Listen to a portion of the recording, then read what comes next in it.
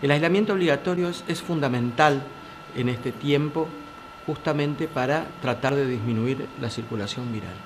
El virus tiene un comportamiento que genera que se vaya infectando la mayor cantidad de gente ante la mayor transitabilidad. Si una persona es portadora del virus y queda en resguardo de su domicilio durante 14 días, es durante ese tiempo que el propio cuerpo de esa persona va generando anticuerpos, defensas, para poder bloquear ese virus. Por lo tanto, vamos a tener una persona en condiciones óptimas para que no se enferme. Si esa persona es portadora y sale a la calle, va a hacer que ese virus se vaya desparramando, como cuando uno aprieta este, la válvula de un aerosol de esa misma manera se distribuye y va siendo multiplicador en forma exponencial.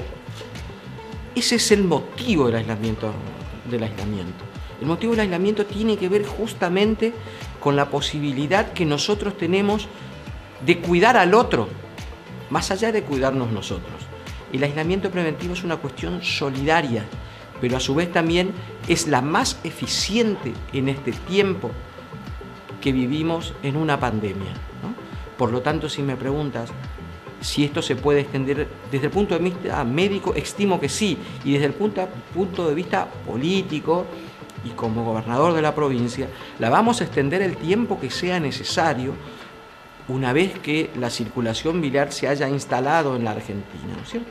Entonces, ¿cuánto tiempo puede durar? Todavía no lo sabemos. El mundo todavía no lo sabe.